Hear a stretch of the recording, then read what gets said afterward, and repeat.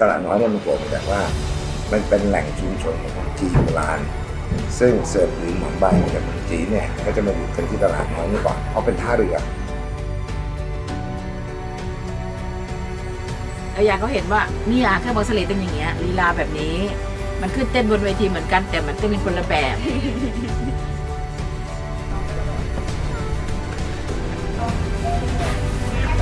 ไม่ใช่นะค่ะ